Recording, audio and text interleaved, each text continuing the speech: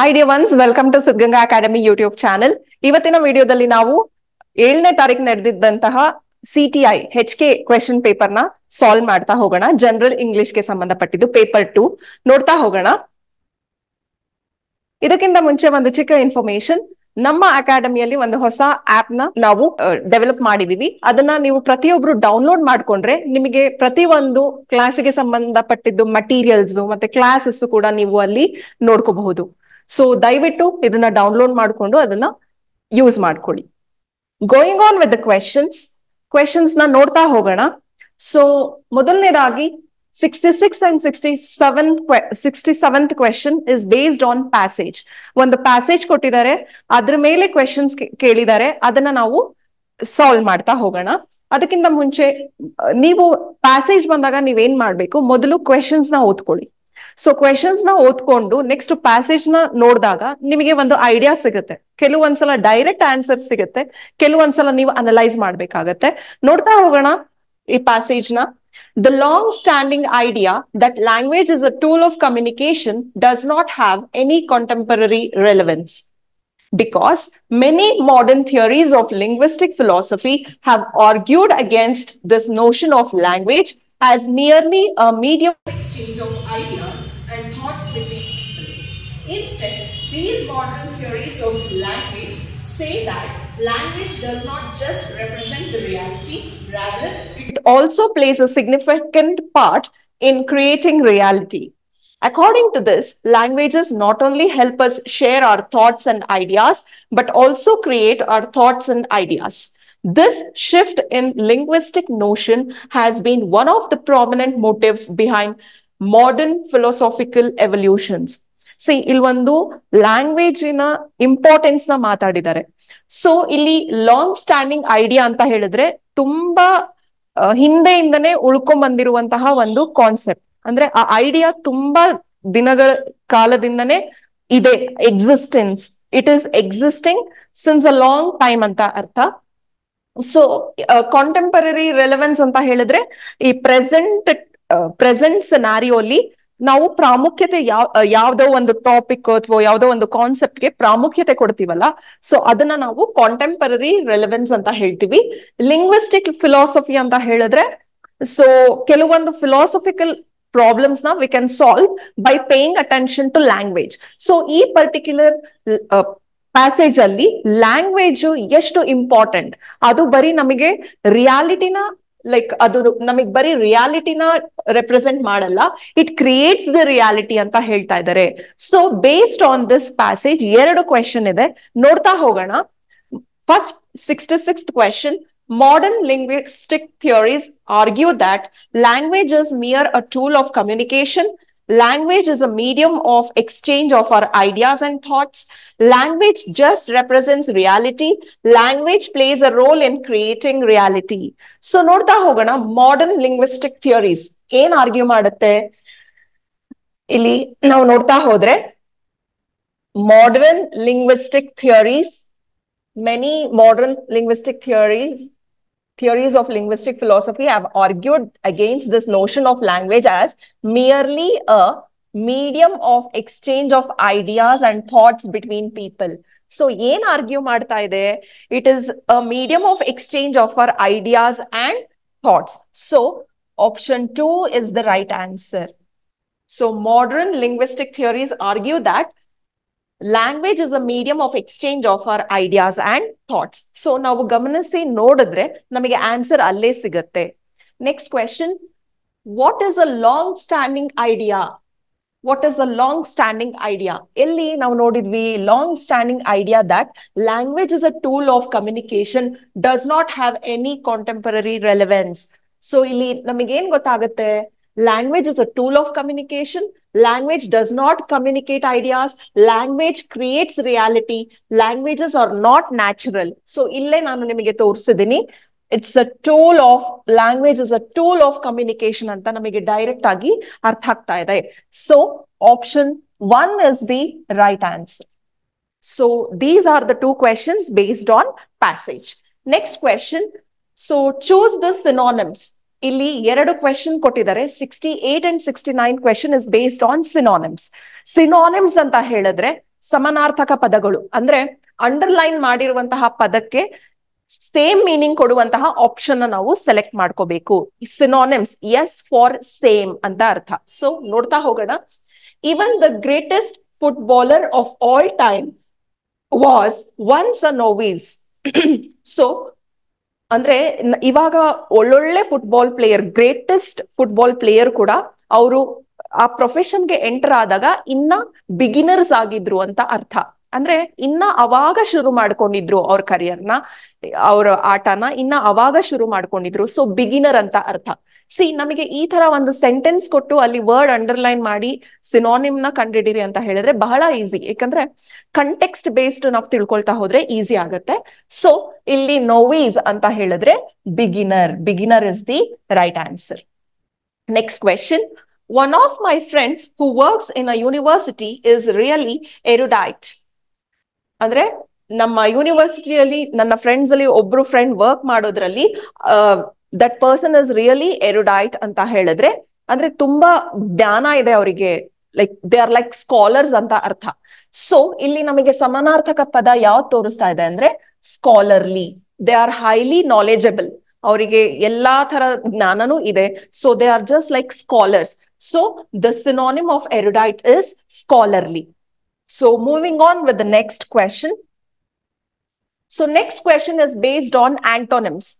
ಇಲ್ಲಿ question number seventy and seventy one ಯಾವ basis ಮೇಲೆ ಇದೆ ಅಂದ್ರೆ ಆಂಟೋನಿಮ್ಸ್ನ ಕಂಡಿಡಿಬೇಕು ಅಂದ್ರೆ ಆಂಟೋನಿಮ್ಸ್ ಅಂತ ಹೇಳಿದ್ರೆ you have to identify the opposite meaning word so underline ಮಾಡಿರುವಂತಹ ಪದಕ್ಕೆ ಆಪ್ಷನ್ಸ್ ಅಲ್ಲಿ ಯಾವುದು ವಿರುದ್ಧಾರ್ಥಕ ಪದ ಇದೆ ಅಂತ ನಾವು ಐಡೆಂಟಿಫೈ ಮಾಡ್ಬೇಕಾಗತ್ತೆ.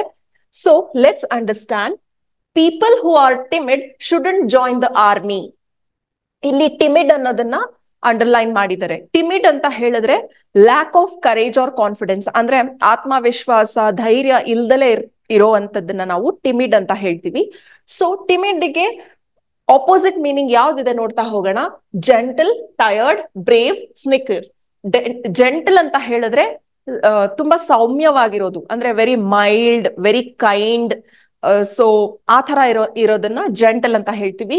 ಟಯರ್ಡ್ ಅಂದ್ರೆ ಸುಸ್ತಾಗಿರುವಂತದ್ದು ಬ್ರೇವ್ ಅಂತ ಹೇಳಿದ್ರೆ ಬೀಯಿಂಗ್ ವೆರಿ ಸೆಲ್ಫ್ ಕಾನ್ಫಿಡೆಂಟ್ ಮತ್ತೆ ವೆರಿ ಕರೇಜಿಯಸ್ ತುಂಬಾ ಧೈರ್ಯ ಇರುತ್ತೆ. ಅವ್ರ ಮೇಲೆ ಅವರಿಗೆ ತುಂಬಾ ಆತ್ಮವಿಶ್ವಾಸ ಇರುತ್ತಲ್ಲ, ಅದನ್ನ ಬ್ರೇವ್ ಅಂತ ಹೇಳ್ತೀವಿ. ಸ್ನಿಕ್ಕರ್ ಅಂತ ಹೇಳಿದ್ರೆ very silly and unkind laugh ಸಿಲ್ಲಿಯಾಗಿ ನಗೋದು, ಮತ್ತೆ ಅವ್ರನ್ನ ನಗೋದು ಬೇರೆಯವ್ರಿಗೆ like it will not be kind ಆಗಿರೋದಿಲ್ಲ. ಒಂಥರ ಹಿಯರ್ಸ್ ನಗೋ ತರ ಇರುತ್ತೆ. ಸೊ ಅದನ್ನ ನಾವು ಸ್ನಿಕ್ಕರ್ ಅಂತ ಹೇಳ್ತೀವಿ. So the opposite of timid is brave ಧೈರ್ಯ ಇಲ್ದಲೇ ಇರೋದು, ಧೈರ್ಯ ಇರುವಂತದ್ದು so this is the opposite brave is the opposite of timid next question there is dearth of human resource to work in social sector in India. ಅಂದ್ರೆ ಈ social sector ಇಂಡಿಯಾದಲ್ಲಿ particular social sector ಅಲ್ಲಿ ಕೆಲಸ ಮಾಡೋದಕ್ಕೆ human resources ಬಹಳ ಕಡಿಮೆ ಇದೆ. ಅಥವಾ ದರ್ ಇಸ್ ಸ್ಕೇರ್ಸಿಟಿ ಅಭಾವ ಅಭಾವ ಇದೆ. So the meaning of dearth is scarcity or scarcity or lack of something ಅಂದ್ರೆ ಅಭಾವ ಅಂತ ಹೇಳ್ತೀವಲ್ಲ, ಕಡಿಮೆ ಇರುವಂತದ್ದನ್ನ ನಾವು ಡರ್ತ್ ಅಂತ ಹೇಳ್ತೀವಿ. ಸೊ ಅದಕ್ಕೆ ಆಪೋಸಿಟ್ ಯಾವುದು ಅಂತ ನೋಡೋಣ. Abundance shortage famine absence abundance ಅಂತ ಹೇಳಿದ್ರೆ something which is in plenty ತುಂಬಾ ತುಂಬಾ ಇರೋದನ್ನ ನಾವು ಅಬಂಡನ್ಸ್ ಅಂತ ಹೇಳ್ತೀವಿ. ಶಾರ್ಟೇಜ್ ಅಂದ್ರೆ ಕಡಿಮೆ ಇರುವಂತದ್ದು ಫೆಮೈನ್ ಅಂತ ಹೇಳಿದ್ರೆ ಎಕ್ಸ್ಟ್ರೀಮ್ ಸ್ಕೇರ್ಸಿಟಿ ಆಫ್ ಫುಡ್ ಊಟದಲ್ಲಿ ತುಂಬಾ ಅಭಾವ ಇರುತ್ತಲ್ಲ, ಊಟದ ಸಂಬಂಧಪಟ್ಟಂಗೆ ಅಭಾವ ಬೆಳೆ, ಬೆಳೆದಿರತ್ತಲ್ಲ ಡೆವಲಪ್ ಆಗಿರುತ್ತಲ್ಲ, ಆ ಪರ್ಟಿ ಪರ್ಟಿಕ್ಯುಲರ್ ಸಿಚುಯೇಷನ್ ನಾವು ಫೆಮೈನ್ ಅಂತ ಹೇಳ್ತೀವಿ. ಆಬ್ಸೆನ್ಸ್ ಅಂತ ಹೇಳಿದ್ರೆ ದೂರ ಉಳ್ಕೊಳ್ಳುವಂಥದ್ದು. ಒಂದು ಪ್ಲೇಸ್ ಇಂದ ಅಥವಾ ಒಬ್ಬ ಪರ್ಸನ್ ಇಂದ ದೂರ ಉಳ್ಕೊಳ್ಳುವಂಥದ್ದನ್ನ ಆಬ್ಸೆನ್ಸ್ ಅಂತ ಹೇಳ್ತೀವಿ. So the opposite of dearth is abundance. Abundance is the right answer. So going on next the next number seventy two 72 seventy 73, it is based on prefix prefix ಮೇಲೆ ನಾವು ನಾವು ಐಡೆಂಟಿಫೈ ಮಾಡ್ಬೇಕಾಗತ್ತೆ. ಸರಿಯಾದ ಪ್ರಿಫಿಕ್ಸ್ನ prefix ಅಂತ ಹೇಳಿದ್ರೆ pre ಅಂದ್ರೆ ಮುಂಚಿತವಾಗಿ. ಒಂದು ವರ್ಡಿನ ಸ್ಟಾರ್ಟಿಂಗ್ ಅಲ್ಲಿ ಬರುತ್ತಲ್ಲ, ಅದನ್ನ ನಾವು ಪ್ರಿಫಿಕ್ಸ್ ಅಂತ ಹೇಳ್ತೀವಿ. ಒಂದು ವರ್ಡಿಗೆ ಬಿಗಿನಿಂಗ್ ಅಲ್ಲಿ ನಾವು ಕೆಲವೊಂದು ವರ್ಡ್ಸ್ ಲೆಟರ್ಸ್ನ ಆಡ್ ಮಾಡ್ತೀವಿ. ಅದನ್ನ ನಾವು ಪ್ರಿಫಿಕ್ಸ್ ಅಂತ ಹೇಳ್ತೀವಿ. ಸೊ ನಾವು ಸರಿಯಾದ ಪ್ರಿಫಿಕ್ಸ್ನ ಐಡೆಂಟಿಫೈ ಮಾಡ್ಬೇಕಾಗತ್ತೆ. ನೋಡ್ತಾ ಹೋಗೋಣ. Ganesh was dash willing to take up medical course for higher studies ಅಂದ್ರೆ ಅವನಿಗೆ ಆಸಕ್ತಿ ಇರ್ಲಿಲ್ಲ. ಹೈಯರ್ ಸ್ಟಡೀಸ್ನ ತಗೊಳ್ಳೋದಕ್ಕೆ ಆಸಕ್ತಿ ಇರ್ಲಿಲ್ಲ. ಸೊ ಅದಕ್ಕೆ ನಮಗೆ ಹಿಂಟ್ ಕೊಟ್ಟಿದ್ದಾರೆ. Being not interested in something or not having the liking to do a course ಅಂದ್ರೆ ಹೈಯರ್ ಸ್ಟಡೀಸ್ ಮಾಡೋದಕ್ಕೆ ಇಂಟ್ರೆಸ್ಟ್ ಇಲ್ದಲೇ ಇರೋದು ಅಥವಾ ಇಷ್ಟ ಇಲ್ದಲೇ ಇರೋದನ್ನ ನಾವು, ಆ ಪರ್ಟಿಕ್ಯುಲರ್ ಹಿಂಟ್ ಕೊಟ್, ಕೊಟ್ಟಿದಾರಲ್ಲ, ಅದನ್ನ ತಲೆಯಲ್ಲಿ ಇಟ್ಕೊಂಡು we have to identify the right answer so ವಿಲ್ಲಿಂಗ್ಗೆ ನಾವು ಏನ್ ಯೂಸ್ ಮಾಡ್ಬೇಕು ಅಂದ್ರೆ ಅನ್ವಿಲ್ಲಿಂಗ್ ಅನ್ವಿಲ್ಲಿಂಗ್ ಅಂದ್ರೆ it shows something like is not being so interested ಅಥವಾ that particular person dislikes something ಇಷ್ಟ ಇಲ್ಲ ಅಂತ ತೋರಿಸುತ್ತೆ so the right prefix of willing is unwilling The investigation report said that the mob was fixed and dash mobile at the time of riot. Hint ಕೊಟ್ಟಿದ್ದಾರೆ the mob that was not in moment to indulge in any riot ಅಂದ್ರೆ report ಹೇಳ್ತು like it was that it was fixed and At the mobile at the time of riot ಅಂದ್ರೆ ಅವ್ರ ಏನ್ hint ಕೊಟ್ಟಿದ್ದಾರೆ? There ಅಲ್ಲಿ present ಇರ್ಲಿಲ್ಲ. To indulge in the riot ಆ time ಅಲ್ಲಿ ಅವರು ಇರ್ಲಿಲ್ಲ ಅಂತ ನಾವು ತೋರಿಸ್ಬೇಕು. So the prefix of mobile is a mobile so going on with the next question before that, ಒಂದು ಚಿಕ್ಕ ಇನ್ಫಾರ್ಮೇಶನ್ ಇದೆ. ನಮ್ಮ ಸಿದ್ಧಗಂಗಾ ಅಕಾಡೆಮಿಯಲ್ಲಿ ಜನವರಿ ಹದಿನೈದನೇ ತಾರೀಕಿಂದ ಹೊಸ ಬ್ಯಾಚಸ್ ಶುರು ಆಗ್ತಾ ಇದೆ ಸೊ ಕೆ ಎಸ್ ಮತ್ತೆ ಗ್ರೂಪ್ ಸಿ ಎಕ್ಸಾಮ್ಸ್ಗೆ ಸಂಬಂಧಪಟ್ಟಿದ್ದು ಹೊಸ ಬ್ಯಾಚಸ್ ಶುರು ಆಗ್ತಿದೆ ಸೊ ಮೆನ್ಷನ್ ಮಾಡಿರುವಂತಹ ನಂಬರ್ಸ್ಗೆ ನೀವು ಕಾಲ್ ಮಾಡಿ ಇನ್ಫಾರ್ಮೇಶನ್ ಪಡ್ಕೊಂಡು ನೀವು ಜಾಯ್ನ್ ಆಗಬಹುದು. So moving on with next question ಇಲ್ಲಿ ಯಾವ ತರ ಕ್ವೆಶನ್ ಕೊಟ್ಟಿದ್ದಾರೆ ಅಂತ ಹೇಳಿದ್ರೆ ಪಿ ಕ್ಯೂ ಆರ್ ಎಸ್ ಮೊದಲನೇ ಸೆಂಟೆನ್ಸ್ ಕೊನೆ ಸೆಂಟೆನ್ಸ್ ಸರಿ ಇರುತ್ತೆ. ಮಧ್ಯದಲ್ಲಿ ಪಿ ಕ್ಯೂ ಆರ್ ಎಸ್ ನಾಲ್ಕು ಸೆಂಟೆನ್ಸ್ ಕೊಟ್ಟಿರ್ತಾರೆ ಜಂಬಲ್ ಮಾಡಿರ್ತಾರೆ. ಸೊ ನೀವು ಫಸ್ಟ್ ಸೆಂಟೆನ್ಸ್ ಮತ್ತೆ ಲಾಸ್ಟ್ ಸೆಂಟೆನ್ಸ್ನ ತಲೆಯಲ್ಲಿ ಇಟ್ಕೊಂಡು ಆರ್ಗನೈಸ್ಡ್ ಆಗಿ you have to place the sentence ಒಂದು ಅರ್ಥ ಕೊಡುವಂತಹ ಒಂದು ಪ್ಯಾರಾಗ್ರಾಫ್ ತರ ನೀವು ಅದನ್ನ ಅರೇಂಜ್ ಮಾಡಬೇಕು. ಸೊ ನೋಡ್ತಾ ಹೋಗೋಣ. The highway was so badly damaged that accidents had become common there were other health issues highway ಎಷ್ಟು ಕೆಟ್ಟದಾಗಿ ಡ್ಯಾಮೇಜ್ ಆಗಿತ್ತು ಅಂದ್ರೆ ಆಕ್ಸಿಡೆಂಟ್ಸ್ ತುಂಬಾ ಕಾಮನ್ ಆಗಿತ್ತು ಆ ಹೈವೇಯಲ್ಲಿ ಸೊ ಅದರಿಂದ ತುಂಬಾ ಹೆಲ್ತ್ ಇಶ್ಯೂಸ್ ಕೂಡ ಶುರು ಶುರು ಆಗಿತ್ತು. ಸೊ ಇದಕ್ಕೆ ಸಂಬಂಧಪಟ್ಟಂಗೆ ನೀವು ಏನ್ ಮಾಡ್ಬೇಕು ಮೊದಲನೇ ಸಲ ಎಲ್ಲಾ ಸೆಂಟೆನ್ಸ್ ಕರೆಕ್ಟ್ ಆಗಿ ಓದ್ಕೋಬೇಕು. ಸೊ ನಿಮಗೆ ಒಂದು ಸೆಂಟೆನ್ಸ್ ಓದಿದಾದ್ಮೇಲೆ ನಿಮಗೆ ಗೊತ್ತಾಗತ್ತೆ. ಅದ್ರ ಅರ್ಥ ತಕ್ಕಂಗೆ ನೀವು ನೆಕ್ಸ್ಟ್ ಸೆಂಟೆನ್ಸ್ನ ಫಿಕ್ಸ್ ಮಾಡ್ಬೇಕು. ಸೊ ಇಲ್ಲಿ ನೋಡ್ತಾ ಹೋದ್ರೆ ಹೆಲ್ತ್ ಇಶ್ಯೂಸ್ ಶುರು ಆಯ್ತು ಅಂತ ಹೇಳ್ತಾರೆ. People had no alternative other than taking an extreme step. People suffered from back pain, especially the regular commuters. Journey on the highway was rough. Under the leadership of some senior citizens, they collectively blocked the road and staged a dharna. Repeated requests and complaints fell on deaf ears. This made news at the state level, and authorities rushed to the scene. So ಈ ತರ ಕೊಟ್ಟಿದ್ದಾರೆ. ಅದ ನಾವು ಈ first sentence ಆದ್ಮೇಲೆ ನಮಗೆ ಗೊತ್ತಾಗ್ಬೇಕು we should guess ಓ, ಏನಾಗಿರ್ಬೋದು ನೆಕ್ಸ್ಟ್ ಓಕೆ ಸೊ ಇಲ್ಲಿ ಅವ್ರು ಏನ್ ಮೆನ್ಷನ್ ಮಾಡಿದರೆ there were other health issues health issues ಇತ್ತು ಅಂತ ಹೇಳ್ತಾ ಇದ್ದಾರೆ. ಸೊ ಇಲ್ಲಿ ಸೆಕೆಂಡ್ ಪಾರ್ಟ್ ಅಲ್ಲಿ ಏನೇನ್ ಸಫರ್ ಮಾಡಿದ್ರು, ಯಾವ್ಯಾವ ಹೆಲ್ತ್ ಇಶ್ಯೂಸ್ ಆಯ್ತು ಅಂತ ಎಕ್ಸ್ಪ್ಲೈನ್ ಮಾಡಿದ್ದಾರೆ. So we can connect first sentence with the Q Q point ಜೊತೆಗೆ we can connect so other health issues people suffered from back pain especially the regular commuters commuters ಅಂದ್ರೆ travel ಮಾಡ್ತಾರಲ್ಲ, ಅವ್ರನ್ನ ನಾವು commuters ಅಂತೀವಿ. Journey on the highway was rough highway ಅಲ್ಲಿ ಹೋಗುವಂತದ್ದು ತುಂಬಾ ಕಷ್ಟ ಆಗ್ತಿತ್ತು ಜರ್ನಿ ಅಂತ ಹೇಳ್ತಾ ಇದ್ದಾರೆ ಸೊ ಫಸ್ಟ್ ಕ್ಯೂ ಬರುತ್ತೆ. ಇದಾದ್ಮೇಲೆ ನೆಕ್ಸ್ಟ್ ನಾವು ಓದ್ತಾ ಹೋದ್ರೆ ಸೊ ಈ ತರ ಸಫರ್ ಮಾಡದ್ಮೇಲೆ ತುಂಬಾ ಕಷ್ಟ ಆಗ್ತಿತ್ತು ಜರ್ನಿ ಮಾಡೋದಕ್ಕೆ ಅಂತ ರೋಡ್ಸ್ ಅಲ್ಲಿ. ಸೊ ಹಾಗಾಗಿ ಏನಾಯ್ತು? Repeated request and complaints fell on deaf ears repeated ಆಗಿ ಈ ತರ ಓಡಾಡಕ್ ಆಗಲ್ಲ ಅಂತ ಕಂಪ್ಲೇಂಟ್ ಹೋಗ್ತಾನೆ ಇತ್ತು. ಸೊ ಇದು ಸೆಕೆಂಡ್ ಬರುತ್ತೆ. ಇದಾದ್ಮೇಲೆ ಏನಾಯ್ತು? People had no alter alternative other than taking an extreme step so ಎಷ್ಟೇ ಕಂಪ್ಲೇಂಟ್ ಮಾಡಿದ್ರು ಅವ್ರ ಕಿವಿಗೆ ಹಾಕೊಳ್ತಿರ್ಲಿಲ್ಲ ಹೈಯರ್ ಅಥಾರಿಟೀಸ್ ಸೊ ಕೊನೆಯಲ್ಲಿ ಜನಗಳು ಏನ್ ಮಾಡ್ಬೇಕಾಗಿತ್ತು? ಒಂದು ಎಕ್ಸ್ಟ್ರೀಮ್ ಸ್ಟೆಪ್ ಅನ್ನ ತಗೋಬೇಕಾಗಿತ್ತು. So this is the third one under the leadership of some senior citizens they collectively block the road and staged a dharna. So final ಆಗಿ ಏನಾಯ್ತು? This made news at the state level and the authorities rushed to the scene. So the right answer is option one, QSPR. Next question. Choose the correct preposition from the options given.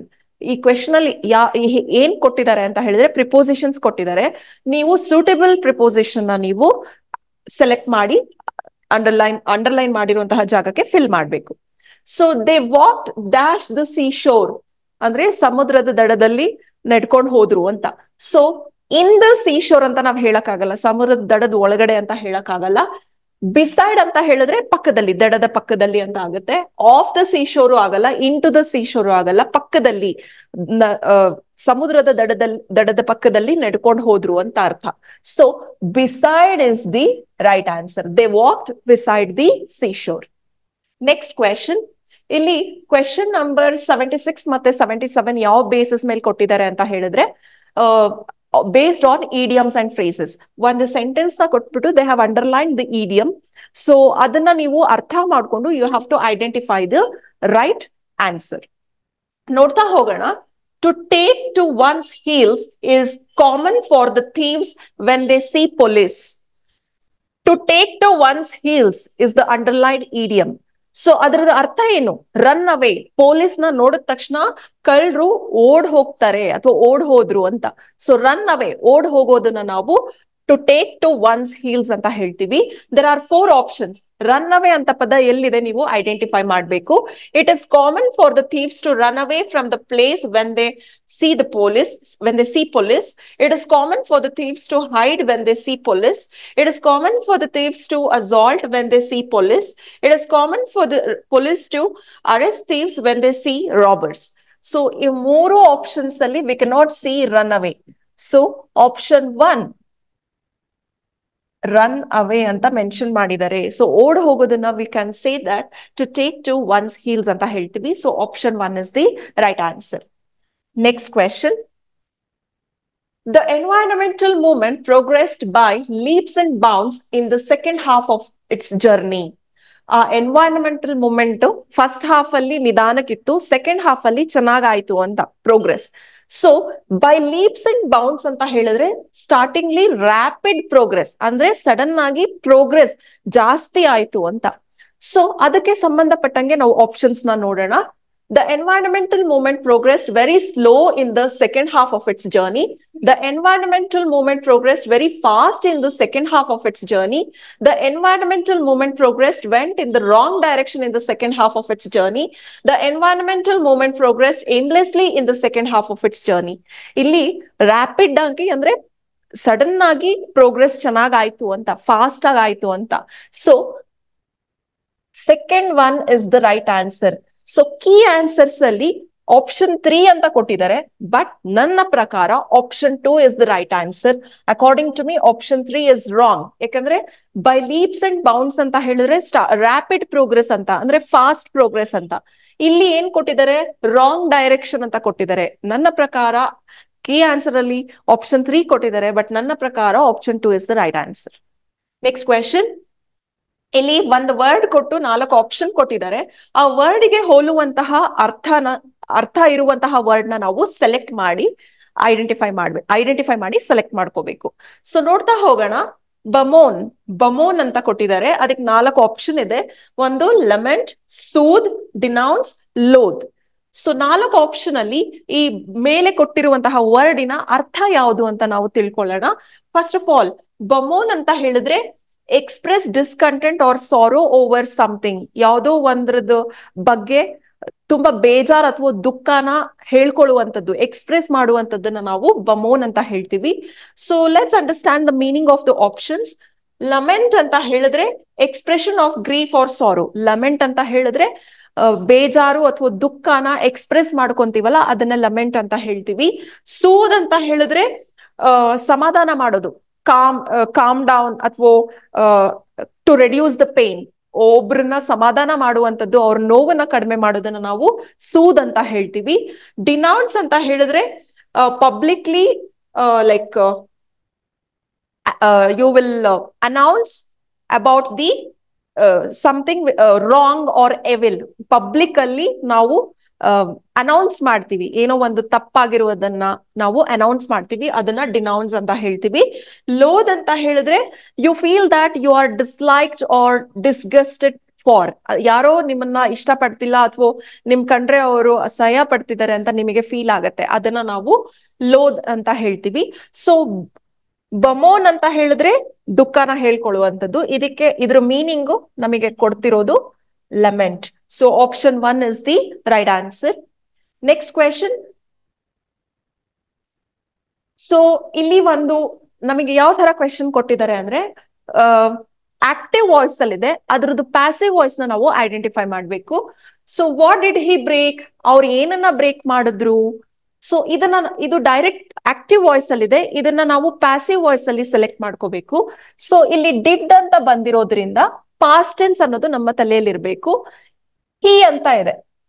So singular he ಅನ್ನೋದು singular so did ಅನ್ನೋದು past tense ಇದನ್ನ ತಲೆಯಲ್ಲಿ ಇಟ್ಕೊಂಡು we have to convert active voice into passive voice what is being broken by him C present tense ಆಗೋದಿಲ್ಲ, ಯಾಕಂದ್ರೆ did ಅನ್ನೋದು past tense I N G form ಇಲ್ಲಿ ಬರೋದಿಲ್ಲ ಬಿಕಾಸ್ ಇಲ್ಲಿ ಕಂಟಿನ್ಯೂಸ್ ಆಕ್ಷನ್ ಇಲ್ಲ. So first one is wrong second one what were broken by him ಇಲ್ಲಿ he singular ಇದ್ದಾಗ ಇಲ್ಲಿ ವರ್ ಅಂತ ಬರುವುದಿಲ್ಲ. So second option is also wrong what was broken by him so did ಅನ್ನೋದು past tense he ಅನ್ನೋದು singular so was what was broken by him ಅವನಿಂದ ಏನು ಒಡೆಯಲ್ಪಟ್ಟಿದೆ? ಸೊ ಇಂಡೈರೆಕ್ಟ್ ಪ್ಯಾಸಿವ್ ವಾಯ್ಸ್ ಅಲ್ಲಿ ನಾವು ಹೇಳ್ತಿದ್ವಿ. So option three is the right answer what has broken him so ಇದು ಮೀನಿಂಗೇ ಸರಿ ಇಲ್ಲ ಏನ್ ಅವನನ್ನ ಬ್ರೋಕ್ ಮಾಡಿದೆ ಅಥವಾ ವಾಟ್ ಹ್ಯಾಸ್ ಬ್ರೋಕನ್ ಹಿಮ್ ಅವನನ್ನ ಏನು ಬ್ರೋಕ್ ಮಾಡಿದೆ ಬ್ರೇಕ್ ಮಾಡಿದೆ ಅಂತ ಕೇಳ್ತಾ ಇದ್ದಾರೆ. So that is also wrong sentence wise it is meaningless so ಈ ಪರ್ಟಿಕ್ಯುಲರ್ ಇದಕ್ಕೆ ಇಟ್ ಇಸ್ ಮೀನಿಂಗ್ಲೆಸ್ ಸೊ ಈ ತರ ನಾವು ಈ ಪರ್ಟಿಕ್ಯುಲರ್ ಸೆಂಟೆನ್ಸ್ನ ಪ್ಯಾಸಿವ್ ವಾಯ್ಸ್ ಈ ತರ ಪ್ಯಾಸಿವ್ ವಾಯ್ಸ್ ಮಾಡಕ್ಕಾಗಲ್ಲ. ಸೊ ಯೂಶ್ವಲಿ ಡಿಡ್ ಅಂತ ಇದ್ದಾಗ ವಾಸ್ ಬರುತ್ತೆ, ಇಲ್ಲ ವರ್ ಬರುತ್ತೆ. ವರ್ ಅಂತ ಬರೋದು ಪ್ಲೂರಲ್ ಇದ್ದಾಗ ವಾಸ್ ಅಂತ ಬರೋದು ಸಿಂಗ್ಯುಲರ್ ಇದ್ದಾಗ, ಇದು ಸಿಂಗ್ಯುಲರ್ ಇರೋದ್ರಿಂದ option three is the right answer next question so ಇಲ್ಲಿ ಒಂದು ಫ್ರೇಸ್ ಕೊಟ್ಟಿದ್ದಾರೆ, ಅಥವಾ ಒಂದು ವರ್ಡ್ ಕೊಟ್ಟಿದ್ದಾರೆ. ಅದಕ್ಕೆ ಎಕ್ಸ್ಪ್ಲೇನ್ ಮಾಡುವಂತಹ ಒಂದು ಅರ್ಥ ಕೊಡುವಂತಹ ಒಂದು ವರ್ಡ್ನ ನಾವು ಸೆಲೆಕ್ಟ್ ಮಾಡಬೇಕು. ಸೊ ನೋಡ್ತಾ ಹೋಗೋಣ. ಲೇ ಆಫ್ ಅಂತ ಹೇಳಿದ್ರೆ ಎಂಪ್ಲಾಯೀಸ್ನ ಕೆಲಸದಿಂದ ತೆಗೆಯುವಂಥದ್ದು. ಕೆಲವೊಂದು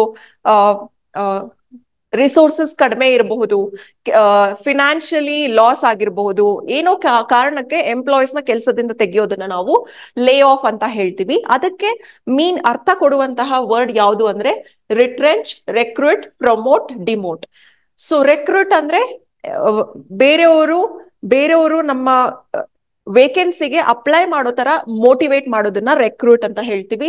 ಪ್ರಮೋಟ್ ಅಂತ ಹೇಳಿದ್ರೆ ಲೋಯರ್ ಲೆವೆಲ್ ಇಂದ ಹೈಯರ್ ಲೆವೆಲ್ಗೆ ಕಳಿಸುವಂತದ್ದು ಡಿಮೋಟ್ ಅಂತ ಹೇಳಿದ್ರೆ ಹೈಯರ್ ಲೆವೆಲ್ ಪೊಸಿಷನ್ ಇಂದ ಲೋಯರ್ ಲೆವೆಲ್ ಪೊಸಿಷನ್ಗೆ ಟ್ರಾನ್ಸ್ಫರ್ ಮಾಡುವಂತದ್ದು so retrench is the answer for lay off next ostracise ostracise ಅಂತ ಹೇಳಿದ್ರೆ ಬಿಟ್ ಹಾಕೋದು ಎಕ್ಸ್ಕ್ಲೂಡ್ ಮಾಡುವಂತದ್ದು ಸೊ ಯಾವ್ದಕ್ಕೆ ಇದಕ್ಕೆ ಸರಿಯಾಗಿ ಅರ್ಥ ಕೊಡ್ತಾ ಇದೆ ಅಂದ್ರೆ welcome punish banish destroy welcome ಅಂದ್ರೆ ಬನಿಶ್ ಅಂದ್ರೆ ಶಿಕ್ಷೆ ಕೊಡೋದು ಬ್ಯಾನಿಶ್ ಅಂದ್ರೆ ಬಿಟ್ ಬಿಡೋದು ಎಕ್ಸ್ಕ್ಲೂಡ್ ಮಾಡೋದು ಡೆಸ್ಟ್ರಾಯ್ ಅಂದ್ರೆ ಹಾಳ್ ಮಾಡೋದು.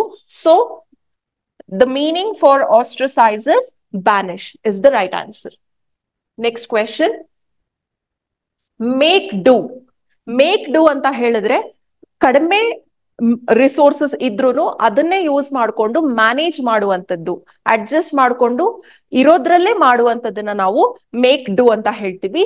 So there are four options adjudicate adjust admonish administer adjudicate ಅಂತ ಹೇಳಿದ್ರೆ ಫಾರ್ಮಲ್ ಆಗಿ ಜಡ್ಜ್ಮೆಂಟ್ನ ಕೊಡುವಂತದ್ದು ಅಡ್ಜಸ್ಟ್ ಅಂತ ಹೇಳಿದ್ರೆ ಇರೋದ್ರಲ್ಲೇ ಲೈಕ್ ಮ್ಯಾನೇಜ್ ಮಾಡುವಂಥದ್ದು ಬ್ಯಾಲೆನ್ಸ್ ಮಾಡುವಂಥದ್ದು.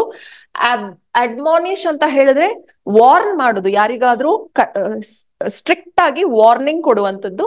ಅಡ್ಮಿನಿಸ್ಟರ್ ಅಂತ ಹೇಳಿದ್ರೆ one who manages the business or organisation one who runs the business or any organisation so ಮೇಕ್ಗೆ ಅರ್ಥ ಕೊಡುವಂಥದ್ದು option two adjust is the right answer next so we have to question number eighty three ಮತ್ತೆ eighty four ಹೇಗಿದೆ ಅಂದ್ರೆ ಪ್ರಿಪೋಸಿಷನ್ಸ್ನ ಕೊಟ್ಟಿದ್ದಾರೆ.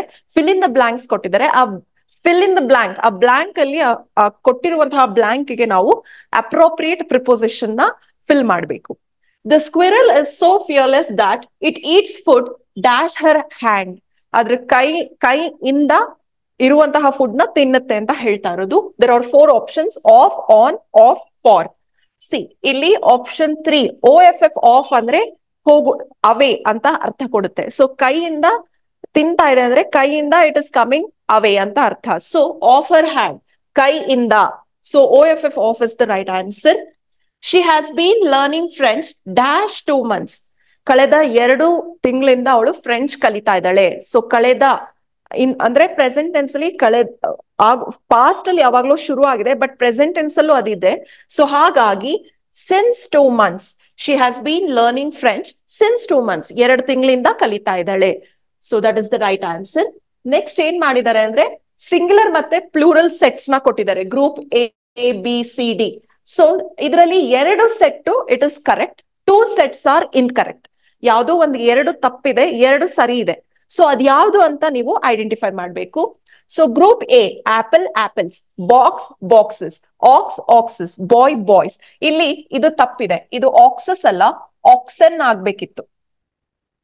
Group B eagle eagles check checks egg eggs sheep sheep ಎಲ್ಲ ಸರಿ ಇದೆ.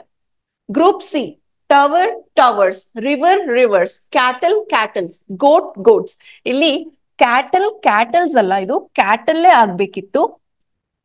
So ಇವೆರಡೂ ಕೂಡ ತಪ್ಪಾಗಿದೆ. Group D kid kids puppy puppies duck ducks cow cows ಇದು ಸರಿ ಇದೆ so these two sets are correct so ಈ ಆಪ್ಷನ್ಸ್ ಅಲ್ಲಿ you have to select the correct sets A and B B and C A and B A ತಪ್ಪಿದೆ so ಇದು ಆಗಲ್ಲ. B and C C ತಪ್ಪಿದೆ so ಇದು ಆಗಲ್ಲ. A and D A ತಪ್ಪಿದೆ, ಇದು ಆಗಲ್ಲ. ಬಿ ಅಂಡ್ ಡಿ ಬಿನು ಸರಿ ಇದೆ ಡಿನು ಸರಿ ಇದೆ. So option four is the right answer next question so ಇದು ಕೂಡ ಹಾಗೇನೆ ಒಂದ್ ಫಸ್ಟ್ ಸೆಂಟೆನ್ಸ್ ಲಾಸ್ಟ್ ಸೆಂಟೆನ್ಸ್ ಮಧ್ಯದಲ್ಲಿ ನಾಲ್ಕು ಸೆಂಟೆನ್ಸಸ್ನ like P Q R S ಅದನ್ನ ಜಂಬಲ್ ಮಾಡಿದ್ದಾರೆ. ಸೊ ಫಸ್ಟ್ ಸೆಂಟೆನ್ಸ್ನ ನಾವು ಓದ್ಕೊಂಡು ಅದಕ್ಕೆ ಕನೆಕ್ಟ್ ಆಗುವಂತಹ ಸೆಂಟೆನ್ಸ್ನ ನಾವು ಜೋಡಿಸ್ಕೊಂಡು ಹೋಗ್, ಹೋಗ್ಬೇಕಾಗತ್ತೆ. We have to arrange P Q R S ನ ಕರೆಕ್ಟ್ ಆಗಿ ಅರೇಂಜ್ ಮಾಡಬೇಕು ರೀಅರೇಂಜ್ ಮಾಡಬೇಕು so let see A group of friends met during the holidays and decided to plant a garden and they were excited. People saw the positive result of their hard work and appreciated them. They even offered help. Immediately after these activities, they became confident and worked long hours joyfully. It brought alive their childhood memories of playing in mud. All the time, they kept themselves busy visiting farmers, reading books on gardening, collecting seeds and use, useful plants. Within a few weeks, the patch of land had transformed itself into a smiling garden. Some tiny flowers had bloomed too. By the end of the holidays, their knowledge in gardening had deepened and had given them a sense of fulfillment, joy, and purpose. So ಈ ತರ ಕೊಟ್ಟಿದ್ದಾರೆ. ಇದು ಒಂದು ಕತೆ ತರ ಇದೆ. So it's not so difficult ನೋಡ್ತಾ ಹೋಗೋಣ. A group of friends met during the holidays and decided to plant a garden and they were excited. Excite ಆಗಿದ್ರು. ಸೊ ಇದಾದ್ಮೇಲೆ ಏನ್ ಬರುತ್ತೆ? ಸೊ ಅದಕ್ಕೆ ಏನ್ ಮಾಡಿದ್ರು? ಏನೋ ಗಾರ್ಡನ್ ಗಾರ್ಡನ್ ಮಾಡ್ಬೇಕು ಅನ್ಕೊಂಡಿದ್ರು, ಮತ್ತೆ ಎಕ್ಸೈಟ್ ಆಗಿದ್ರು. ಅದಾದ್ಮೇಲೆ ಏನ್ ಮಾಡ್ತಾ, ಮಾಡಿದ್ರು ಅವರು? All the time all the time they kept themselves busy visiting farmers reading books on gardening collecting seeds and useful plants so ಮೊದಲು ಏನ್ ಮಾಡ್ತಾರೆ? ಬುಕ್ನ ಓದಕ್ ಶುರು ಮಾಡ್ತಾರೆ. ಫಾರ್ಮರ್ಸ್ ಹತ್ರ ವಿಸಿಟ್ ಮಾಡ್ತಾರೆ.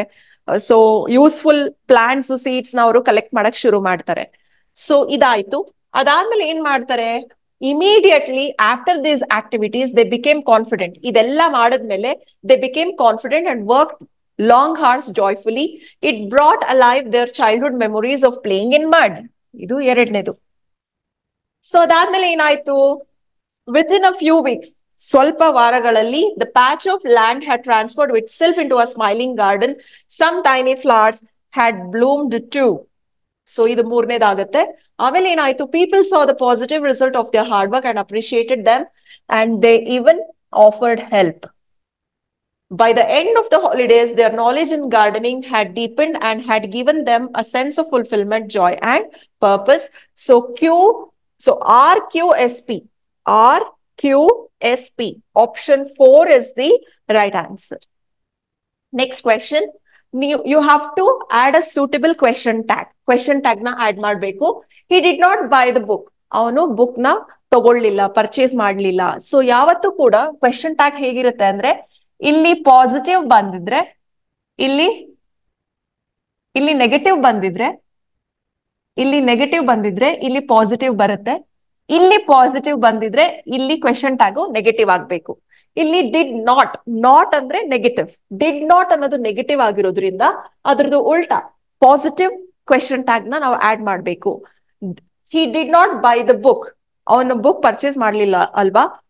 ಸೊ ಅದನ್ನ ನಾವು ಡಿಡೆಂಟ್ ಹಿ ಇದನ್ನೇ ನೆಗೆಟಿವ್ ಇದ್ದಾಗ ನೆಗೆಟಿವ್ ನೇ ನಾವು ಯೂಸ್ ಮಾಡಕ್ ಆಗಲ್ಲ ಇಲ್ಲಿ ಡಿಡ್ ಬಂದಿರೋದ್ರಿಂದ ಶುಡಂಟ್ ಅಂತ ಬರಲ್ಲ ಶುಡ್ ಅಂತಾನು ಬರಲ್ಲ ಡಿಡ್ ಅಂತಾನೆ ಶುರು ಆಗ್ಬೇಕು. So did he option four is the right answer next question ಇಲ್ಲಿ ಕ್ವೆಶನ್ ನಂಬರ್ ಏಯ್ಟಿ ಏಟ್ ಮತ್ತೆ ಏಟಿ ನೈನ್ ಹೇಗೆ ಕೊಟ್ಟಿದ್ದಾರೆ ಅಂತ ಹೇಳಿದ್ರೆ, ಅವರು ಡೈರೆಕ್ಟ್ ಸ್ಪೀಚ್ ಕೊಟ್ಟಿದ್ದಾರೆ. ಅದಕ್ಕೆ ನಾವು ಇಂಡೈರೆಕ್ಟ್ ಸ್ಪೀಚ್ನ ಕಂಡು ಹಿಡಿಬೇಕು so the watchman told his wife don't let the dog out watchman ಅವನ ಹೆಂಡತಿಗೆ ಹೇಳ್ದ, ನಾಯಿನ ಆಚೆ ಬಿಡ್ಬೇಡ ಅಂತ. So the the watchman told his wife not to let the dog out C ಇನ್ನೊಂದು, ಟು ಅಂತ ನಾವು ಯೂಸ್ ಮಾಡಿದಾಗ ಅದ್ರ ಪಕ್ಕದಲ್ಲಿ first form of verb present tense of ವರ್ಬ್ನ ನಾವು ಯೂಸ್ ಮಾಡಬೇಕು. ಸೊ ಇದು ಲೆಟ್ ಅಂತಾನೆ ಯೂಸ್ ಮಾಡಿದ್ದಾರೆ. ಸೊ ಅದು ತಪ್ಪಾಗುತ್ತೆ. The watchman told his wife to never let the dog out again let ಅಂತಾನೆ ಯೂಸ್ ಮಾಡಿದ್ದಾರೆ the watchman told his wife to leave the dog out so this is the right answer the watchman told his wife to not to this is also wrong So the indirect speech for this is the watchman told his wife to leave the dog out. Next question. She said, I have been following the stock market for a long time. So ಇದಕ್ಕೆ indirect speech ನಾವು ನೋಡಬೇಕು. She said that she has been following the stock market for a long time she said that she had been following the stock market for a long time she said that she was following the stock market for a long time she said that she had to follow the stock market for a long time C ಇಲ್ಲಿ I have been ಅಂತ ಅವಳು ಹೇಳ್ತಿರೋದ್ನ ಈಗ third person ತರ ನಾವು ಹೇಳಬೇಕು ಅಂದ್ರೆ ಅದು past form ತಗೊಳುತ್ತೆ. So she said that she had been following the stock market for a long time is the right answer next question ಇಲ್ಲಿ ಒನ್ ವರ್ಡ್ ಸಬ್ಸ್ಟಿಟ್ಯೂಷನ್ ಒಂದು ಒಂದು ಸೆಂಟೆನ್ಸ್ ಕೊಟ್ಬಿಟ್ಟು ಆ ಸೆಂಟೆನ್ಸ್ ಅಲ್ಲಿ ಯಾರನ್ನ ಇಂಡಿಕೇಟ್ ಮಾಡುತ್ತೆ ಅಂತ ನಾವು ಒನ್ ವರ್ಡ್ ಅಲ್ಲಿ ಐಡೆಂಟಿಫೈ ಮಾಡ್ಬೇಕು. ಸೊ ನೋಡ್ತಾ ಹೋಗೋಣ. Someone who collects collects coins is called numismatist coiner mentalist metatheorist so one who collects coin is called numismatist. So numismatist, first one is the right answer. The person who compiles dictionaries is called philologist, dictionarist, polyglot, lexicographer. So one who compiles dictionaries is called lexicographer. Option 4 is the right answer. So next, question number 92 and 93 is based on degrees of comparison. So let's and, uh, go with the solution. This man is the dash of all farmers in our place ಅಂದ್ರೆ ಇದ್ರ ಅರ್ಥ ಏನು? ಎಲ್ಲಾ ಫಾರ್ಮರ್ಸ್ಗೆ compare ಮಾಡಿದ್ರೆ he is like ಮೋ ತುಂಬಾ ತುಂಬಾ ಸಾಮರ್ಥ್ಯ ಇದೆ ತುಂಬಾ ಸ್ಕಿಲ್ಡ್ ಅಂತ ಅರ್ಥ. ಸೊ ಎಲ್ ಎಲ್ಲಾರ್ಗಿಂತ ಅವನೇ ಸುಪೀರಿಯರ್ ಸುಪ್ ಸುಪೀರಿಯಾರಿಟಿ ಪ್ಲೇಸ್ ಅಲ್ಲಿ ಇದ್ದಾನೆ ಸುಪೀರಿಯರ್ ಅಲ್ಲಿ ಇದ್ದಾನೆ ಸೊ ಸೂಪರ್ಲೇಟಿವ್ ಡಿಗ್ರಿನ ನಾವು ಯೂಸ್ ಮಾಡಬೇಕು. ಮೋಸ್ಟ್ ಸ್ಕಿಲ್ಡ್ ಬರೀ ಸ್ಕಿಲ್ಡ್ ಸ್ಕಿಲ್ಡ್ ಅಂದ್ರೆ ಪಾಸಿಟಿವ್ ಡಿಗ್ರಿ ತೋರಿಸುತ್ತೆ. ನೀವು ಒಬ್ರನ್ನ ಇನ್ನೊಬ್ರ ಜೊತೆ ಕಂಪೇರ್ ಮಾಡಿದ್ರೆ ಮೋರ್ ಸ್ಕಿಲ್ಡ್ ಬರುತ್ತೆ. ಸೊ ಎಲ್ರಿಗಿಂತ ಅವರೇ ಟಾಪ್ ಮೋಸ್ಟ್ ಅಂತ ಹೇಳಿದ್ರೆ ಮೋಸ್ಟ್ ಸ್ಕಿಲ್ಡ್ ಅಂತ ಬರುತ್ತೆ. ಸೊ ಎಲ್ಲಾ ಫಾರ್ಮರ್ಸ್ ಗಿಂತ ಆ ಪರ್ಟಿಕ್ಯುಲರ್ ಮನುಷ್ಯ he is in the top ಅಂತ ಅರ್ಥ. So most skilled option two is the right answer next question the students applauded dash than before when the actor came on the floor ಇಲ್ಲಿ than ಅಂತ use ಮಾಡ್ತಿದೀವಿ ಅಂದ್ರೆ it shows the comparison so ಇಲ್ಲಿ comparison ಅಂತ ಬಂದಾಗ loud louder loudest loud ಅಂದ್ರೆ positive degree louder ಅಂದ್ರೆ comparative degree loudest ಅಂದ್ರೆ ಸೂಪರ್ಲೇಟಿವ್ ಡಿಗ್ರಿ ಸೊ ಇಲ್ಲಿ ದ್ಯಾನ್ ಅಂತ ಯೂಸ್ ಮಾಡೋ ಮಾಡಿರೋದ್ರಿಂದ it talks about comparison so option one louder is the right answer next ನೋಡ್ತಾ ಹೋಗೋಣ. ಸೊ ಇಲ್ಲಿ ನಾಲ್ಕು ಸೆಂಟೆನ್ಸಸ್ನ ಕೊಟ್ಟಿದ್ದಾರೆ. ನಾಲ್ಕು ಪಾರ್ಟ್ ಇದೆ. ಅದರಲ್ಲಿ ಯಾವ ಪಾರ್ಟ್ ಅಲ್ಲಿ ಎರರ್ ಇದೆ ಅಂತ ನಾವು ನೋಡೋಣ. First one neither Gokul nor his friend have attended the most important meeting of their life no error so ಇಲ್ಲಿ ಯಾವ ಪಾರ್ಟ್ ಅಲ್ಲಿ ನಾವು ಎರರ್ನ ನೋಡಬಹುದು ಅಂದ್ರೆ ಪಾರ್ಟ್ ಟು ಯಾಕೆ ಅಂತ ಹೇಳಿದ್ರೆ ಸಿಂಗ್ಯುಲರ್ ಇದ್ದಾಗ ಸಬ್ಜೆಕ್ಟ್ ಸಿಂಗ್ಯುಲರ್ ಇದ್ದಾಗ ವರ್ಬು ಕೂಡ ಸಿಂಗ್ಯುಲರ್ ಆಗ್ಬೇಕು. ಇಲ್ಲಿ ಹಿಸ್ ಫ್ರೆಂಡ್ ಸಿಂಗ್ಯುಲರ್ ಇದೆ ಬಟ್ ಹ್ಯಾವ್ ಅನ್ನೋದು ಪ್ಲೂರಲ್ ಇದೆ. ಇಲ್ಲಿ ಹ್ಯಾಸ್ ಆಗಿದ್ದಿದ್ರೆ, ಅವಾಗ ಸರಿ ಇರ್ತಿತ್ತು. So part two has the error next all the players were present at the practice session but one of the coach was absent due to an emergency no error ಇಲ್ಲಿ part two ಅಲ್ಲಿ error ಇದೆ. ಯಾಕೆ ಅಂದ್ರೆ one of the coach ಎಷ್ಟೋ coach ಅಲ್ಲಿ ಒಬ್ಬ ಅಂತ. So ಎಷ್ಟೋ ಕೋಚ್ ಅಲ್ಲಿ ಒಬ್ರ ಬಗ್ಗೆ ಮಾತಾಡ್ತಿದೀವಿ ಇಲ್ಲಿ one of the coaches ಆಗ್ಬೇಕಿತ್ತು. So part two has the error next question she ran so fastly that she was able to catch the running bus no error ಇಲ್ಲಿ ಬರೀ ಜೋರಾಗಿ ಓಡಿದ್ಲು ಅಂತ ತೋರಿಸ್ಬೇಕು. ಇಟ್ ಇಸ್ ನಾಟ್ ಫಾಸ್ಟ್ಲಿ ಬರೀ fast ಅಂತ ಹೇಳ್ಬೇಕು. ಹೇಗ್ ಓಡಿದ್ಲು? ಜೋರಾಗಿ ಓಡಿದ್ಲು fast so it is not fastly it is only fast so option one part one has the error next question number ninety seven to ninety nine is based on a passage ಒಂದು ಪ್ಯಾಸೇಜ್ನ ಮೇಲೆ questions ಕೊಟ್ಟಿದ್ದಾರೆ. First passage ಯಾವುದೇ ಒಂದು passage answer ಮಾಡೋ ಮುಂಚೆ ಕ್ವೆಶನ್ಸ್ನ ನೋಡ್ಕೊಳ್ಳಿ so ಅದಾದ್ಮೇಲೆ ಪ್ಯಾಸೇಜ್ಗೆ ಬಂದು ಓದ್ಕೊಳ್ಳಿ ಸೊ ನಿಮಗೆ ಈಸಿ ಆಗಿ ಲಿಂಕ್ ಮಾಡೋದಿಕ್ಕೆ ಹೆಲ್ಪ್ ಆಗುತ್ತೆ Professional disparity is a recent phenomenon. Some centuries ago, before the advent of scientific machinery and technology, people found less inequality between various jobs. Due to these inventions, the notion that mental labor is superior to physical labor emerged. The privileged class could easily take the ownership of production industry, saying that they have the necessary managerial skills and a result, the rest of the population ended in the pool of physical labor. This disparity further continued to the financial sector due to the imbalance in the return be- between physical and mental labor. People with mental skills continued to become rich and prosperous, while the physical laborers confronted misery and poverty. So ಇಲ್ಲಿ ಒಂದು labour like machinery technology develop ಆಗ್ತಿದ್ದಂಗೆ how it impacted the labours like their physical ability mental ability ಅದ್ರ ಬಗ್ಗೆ so something related to professional disparity ಅದ್ರ ಬಗ್ಗೆ ಈ passage ಕೊಟ್ಟಿದ್ದಾರೆ. So ಇದ್ರ ಮೇಲೆ ಕ್ವೆಶನ್ಸ್ ಇದೆ ನೋಡ್ತಾ ಹೋಗೋಣ. Pick the word that does not mean disparity disparitive ಅಂದ್ರೆ which is inequality differences imbalance ಅಂತ ಅರ್ಥ.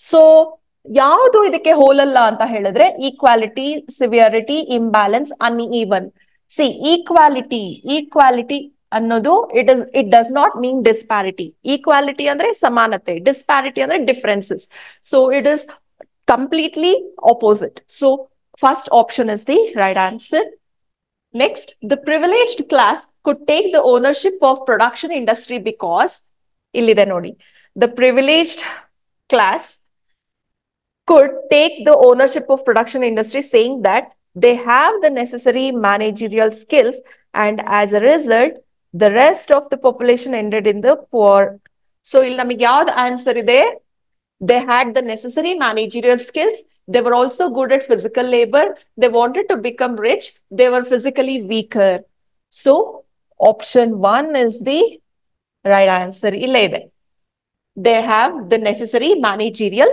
skills. See, uh, key answers ಅಲ್ಲಿ ಏನ್ ಹೇಳಿದ್ದಾರೆ ಆಪ್ಷನ್ ಟೂ ಅಂತ ಹೇಳಿದ್ದಾರೆ ಬಟ್ ನನ್ನ ಪ್ರಕಾರ option one is the right answer next what is the recent phenomenon according to the passage professional disparity financial disparity physical disparity mental disparity ಇಲ್ಲಿ ಬಂದ್ರೆ what is the recent phenomenon professional disparity is the recent phenomenon so option one is the right answer key answer ಅಲ್ಲಿ option three physical disparity ಅಂತ ಹೇಳಿದ್ದಾರೆ but according to me option one is the right answer next fill in the blank with appropriate option given below ಕೆಳಗಡೆ articles options ಅಲ್ಲಿ articles ಕೊಟ್ಟಿದ್ದಾರೆ the and a so based ಅಥವಾ zero article article way ಬೇಡ್ article ಬೇಡವಾ so based on that you have to select the option Nanjangud is dash holy place Nanjangud ಅನ್ನೋದು ಒಂದು ಪವಿತ್ರವಾದ ಸ್ಥಳ ಅಂತ ಹೇಳ್ತಾ ಇದ್ದಾರೆ ಸೊ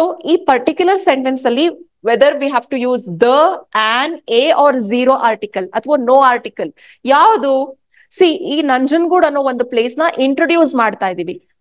ಲೈಕ್ ಅವಾಗಿನ ಇಂಟ್ರೊಡ್ಯೂಸ್ ಮಾಡ್ತಾ ಇದೀವಿ. ಸೊ ಅದು ಒಂದು ನಂಜನ್ಗೂಡ್ ಅನ್ನೋದು ಒಂದು ಪವಿತ್ರವಾದ ಸ್ಥಳ. ಸೊ ಹಾಗಾಗಿ ಇಲ್ಲಿ ಇಂಡೆಫಿನೆಟ್ ಆರ್ಟಿಕಲ್ ಎ ಅಂತ ಯೂಸ್ ಮಾಡ್ತೀವಿ. Nanjangud is a holy place so option three is the right answer so thank you so much for watching the video keep supporting us thank you so much and next ಬರುವಂತಹ exam twentieth ಮತ್ತೆ twenty first C T I exam ಇದೆ. So ಎಲ್ಲರಿಗೂ all the very best thank you